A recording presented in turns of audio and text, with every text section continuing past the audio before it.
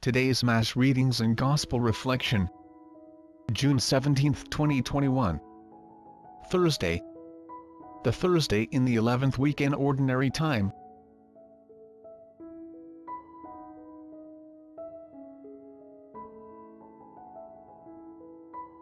We bless your name, O Lord, for sending your own incarnate Son to become part of a family, so that, as he lived its life, he would experience its worries and its joys. We ask you, Lord, to protect and watch over this family, so that in the strength of your grace its members may enjoy prosperity, possess the priceless gift of your peace, and, as the Church alive in the home, bear witness in this world to your glory. We ask this through Christ our Lord. Amen. First reading. A reading from the second letter of Paul to the Corinthians. 2 Corinthians chapter 11 verse 1 to 11.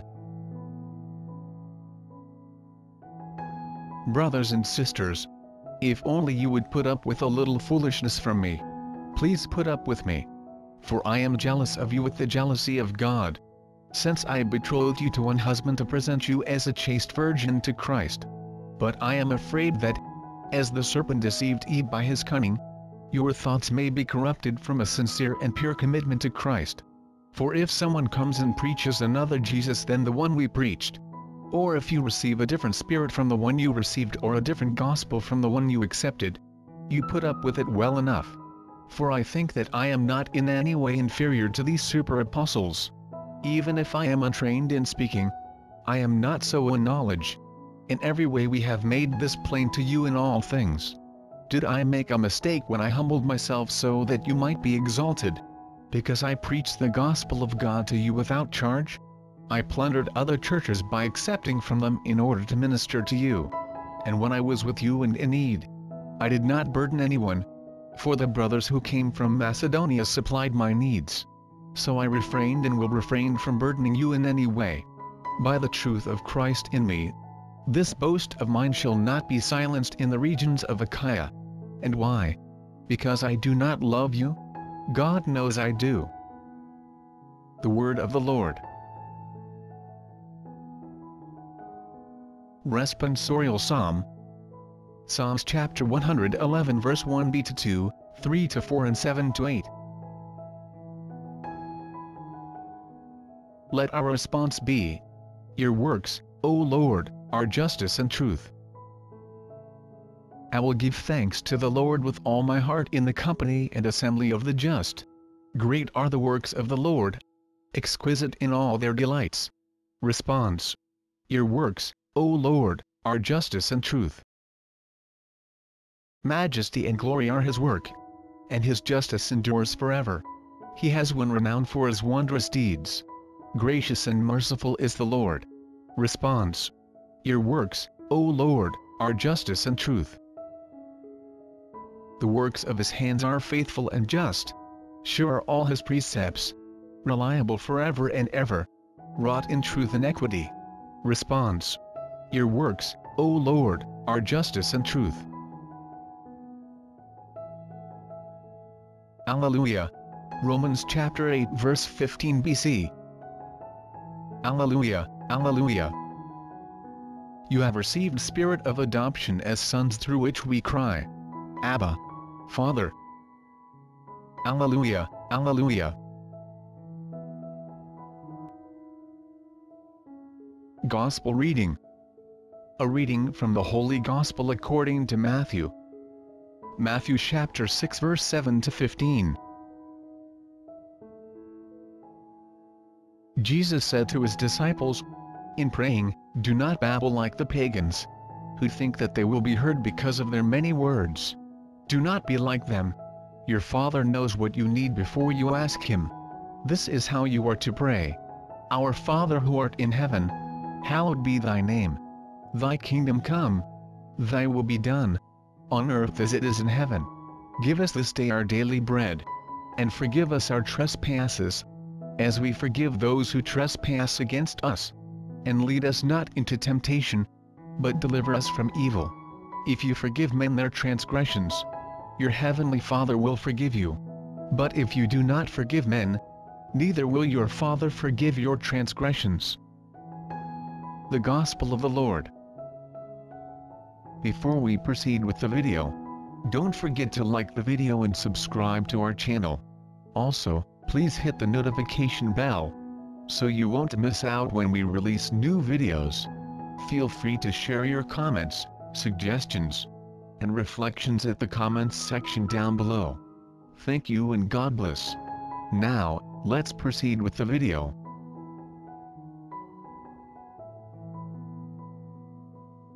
The reflection on today's Gospel Most religions share a common desire to reach the divine reality. Pagans attempt to reach it though their imagination alone. Christians reached it through interaction with the God who became not only a man, but more importantly our brother and our father. This interaction continues today through prayer. When a Jewish child is born, his father will take hold of him and whisper in his ear this prayer, Hear, O Israel the Lord our God, the Lord is one. Love the Lord your God with all your heart and with all your soul and with all your strength. When a Christian child is born, his father should take hold of him and whisper in his ear, Our Father. This is our prayer par excellence because it best identifies who we truly are. It is the first prayer that many children learn. We should say it often because the Lord said it, used it and prayed it, and we should do the same. What is striking, absolutely unique, about this prayer is the beginning, Our Father. Even at the age of 33, the Lord continued to refer to his father as Daddy. And although the Lord grew in wisdom, strength and age, his heart remained like that of a child and his will remained like that of steel. Today, during Mass, I asked the children if they remembered in Scripture when Jesus cried. One child said, while he was being crucified. Another, while he was being beaten. Another, when he saw his mother. No. Finally, one child said, when his best friend died. Correct. And maybe that is a lesson for all of us too. Just like the Lord. Maybe the only time we should ever cry is when we lose someone we love due to death. And when lose someone we love due to sin. The Lord hardly ever cried because he learned to trust in his Father. One of the reasons why we cry a lot is because we never really learned to trust in our parents or in our Father. How did Jesus learn to trust? The hard way. He learned to trust by going out into the desert for 40 days and 40 nights. He learned to trust by praying incessantly and allowing the Holy Spirit to guide his every word, every decision, and every move. He learned to trust by handing over his work, his life to his heavenly Father, by saying over and over again, Thy will be done on earth as it is in heaven. And while he learned to trust, he also learned how to live, persevere and die. Our Father. God is our Father. Creation is his glorious work and man is his masterpiece. There can be no father without a mother. And Mary is our beloved mother. In fact, nature should not even be referred to as nature but rather as creation since its only purpose is to provide for the Father's masterpiece.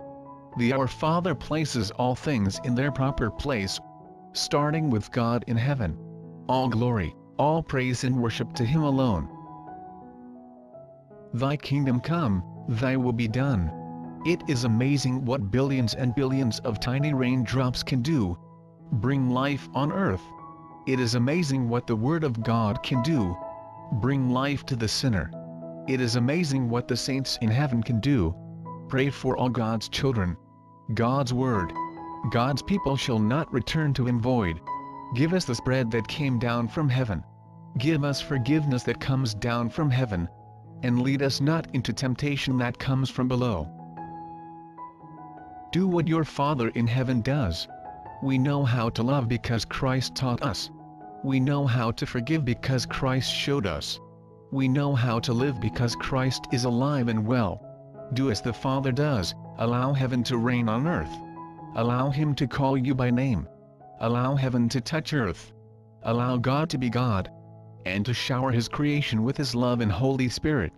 allow the Lord to bear fruit in all his creation and in all his children. Do not be like the others, who live and work for their own petty kingdoms,